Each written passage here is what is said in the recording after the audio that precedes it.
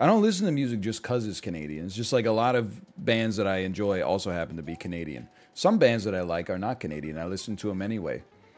My baby's crying, baby. Uh, You can't really sing the Cocteau Twins. The other day, someone asked me what my favorite album was that's not in English. My ass snap pick, Heaven or Las Vegas. Is that in English? sort of.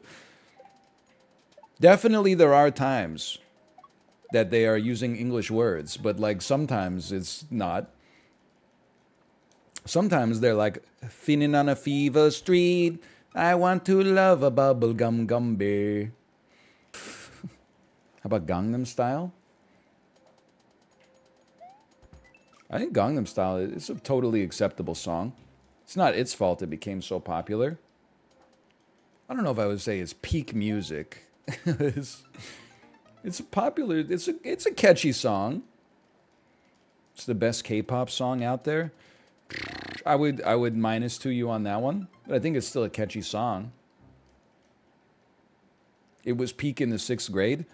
Buddy, that song didn't come out in the sixth grade, okay? It came out in 2012. Your ass was in the sixth grade.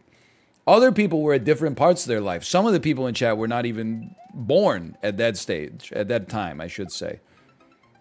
It didn't come out in sixth grade, you narcissist. There were people that were forced by their bosses to like do that dance outside of the, the hospital they work at. Have some respect. I was in college, now I feel old. I was out of college. Do you feel young now? You shouldn't. Your ass is dust. I don't know where I'm going with that.